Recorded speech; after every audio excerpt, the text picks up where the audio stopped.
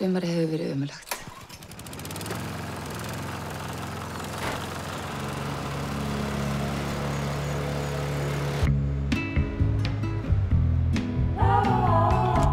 Hvað er þetta að gera hérna?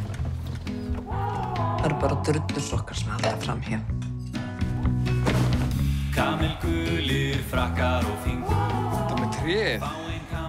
Þetta er hann daldið skuggi svona sem að fellur á vallin hjá okkur. Þetta tré verður látið í friði.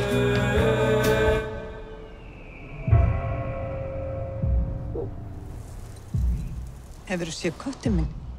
Hann er horfinn. Æjæ.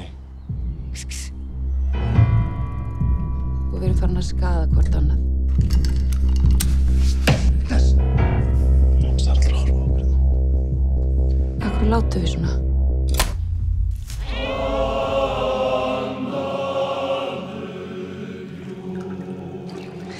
Þetta er óþálandi ástand.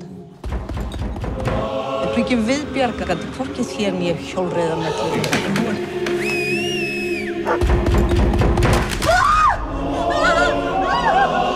Hver gerir svona? Er það þeirra misvitið þetta? Það endar ekki hér! Ah!